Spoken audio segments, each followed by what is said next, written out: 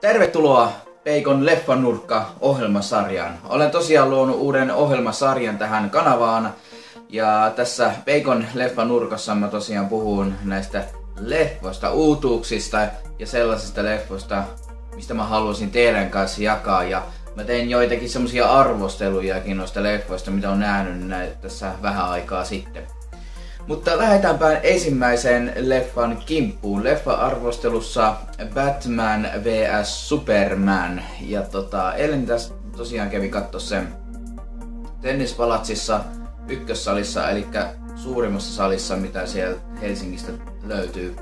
Ja voisin sanoa, että tota, odotukset olivat aika korkealla, mutta en ole pettynyt itse leffaan niin kuin ollenkaan, että mä tykkäsin siitä todella kovasti. Siinä oli actionia, siinä, oli, siinä toimii visuaaliefektit, se, se leffa oli komen näköistä katsottavaa, siis niin kuin on hyvin noin erikoisefektit on sinne niin kuin saatu aikaan ja miten on luotu sellainen tietty ää, maailma ää, Batman ja supermiehen ää, tai teräsmiehen maailmaan tästä leffasta on tullut tosi paljon ristiriitaisia palautettakin erilaisilta ihmisiltä. Tämä yllätyin itse asiassa, koska trailerin perusteella se vaikutti niin hyvältä elokuvalta.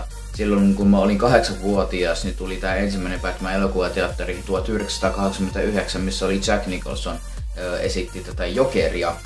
Ja tota, se mullisti mun niin kuin maailma. Se oli ensimmäinen synkkä supersankari elokuva, mikä on nähnyt ikinä. Ja tota, ja sen jälkeen mä oon tykästynyt aika paljon semmoisista synkkäpitoisista supermies ää, tai supersankarileffoista. Ja tota, tää Batman ja Superman ää, leffa on todella, todella synkkä, surullinen. Siinä leffassa ei sisällä mitään komediaa. Se ei ole mitenkään niinku hauskaa, ei kannata niinku odottaa mitään ää, naurun pilkahduksia edes yhdessäkään välissä. Tämä on erittäin mustan, synkkä, vakava supersankari-elokuva, mikä on koskaan ennen aiemmin nähnyt. En voi sanoa, että en ole pettynyt, mutta mä tykkään tästä, niin kuin, tästä elokuvasta ja siitä, miten tota Jack Snyder on tuonut semmoista omaa synkkyyttä tähän elokuvaan. Ainoa kritiikki, minkä mä voisin sanoa tuosta leffasta. Jotkut asiat jäi aika paljon auki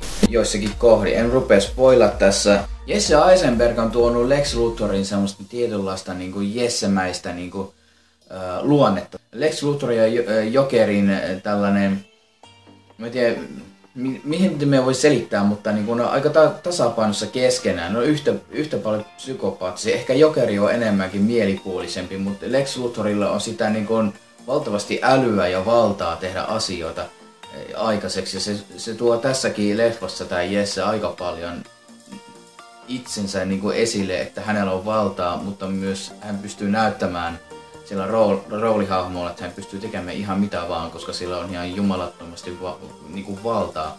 Mutta se pystyy leikkimään sillä vallalla niin paljon, leikittelemään. Mutta mä voisin sanoa, että tota, mä suosittelen, suosittelen tosiaan tätä leffaa niille, jotka dikkaavat oikeasti Batmaneista. Tämä ei ole niin huono leffa, mitä on kriitikot näistä sanonut, mutta mun oma henkilökohtainen mielipide tähän elokuvaan on erittäin myönteinen, vaikka se onkin todella synkkä. Tämä ei ole niin kuin överillä tehty leffa, vaan tota, on koitettu kuitenkin jollain tavalla realistisesti tehdä. Mutta Ää. nyt tulee tuomio, eli annan tälle pisteet. Supersankari-leffana tämä toimii tosi hyvin niin kuin synkällä tavalla.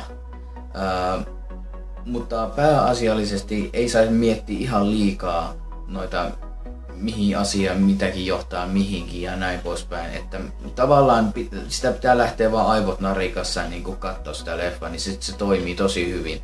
Niin supersankari leffana mä antaisin 8,9 kautta 10 pisteet tälle että se toimii supersankarileffana. Tavallisena leffana mä antaisin piste tälle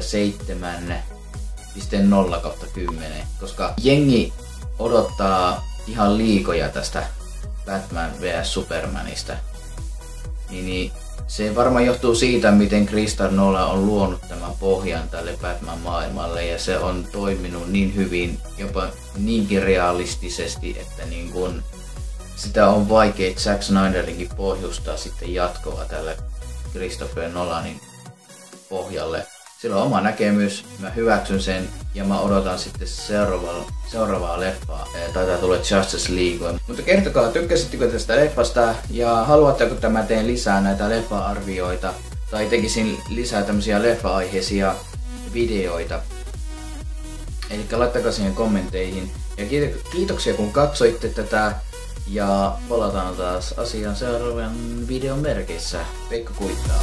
Moro! We'll be right back.